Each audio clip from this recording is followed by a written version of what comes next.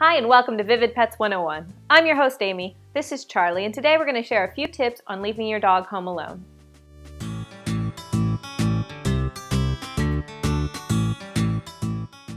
Remember, it's not a good idea to leave your dog alone for more than 24 hours. Finding someone to check in on him or paying for a kennel are the best options, but here are a few tips for the occasional long workday or day trip.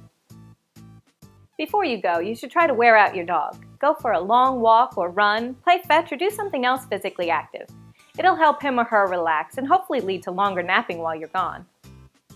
Other pre-trip measures include making sure that your pet has plenty of food and water, a place to use the bathroom, and lots of toys. If you won't be back by dinner time or plan on coming back the next day, consider leaving food out in an auto feeder.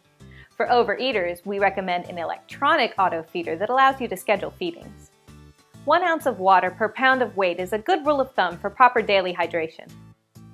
Next, if your dog doesn't have access to a yard and someone can't let him or her out, you'll need to set up a spot to use the bathroom. Training pads are great for indoor use and are formulated with built-in attractants to make training easy. I would test these out a few times first though, so you don't come home to a messy surprise. With physical needs met, the last thing is to keep your dog's mind distracted from missing you.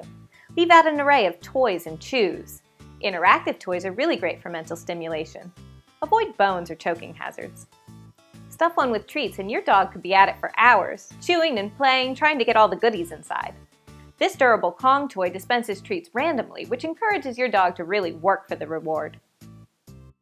Our last tips to ease your dog's separation anxiety are to leave a shirt with your scent on it, and simply leave the television on. You can put on an animal program or soothing music. Your dog will appreciate the familiar sounds. Thanks for watching!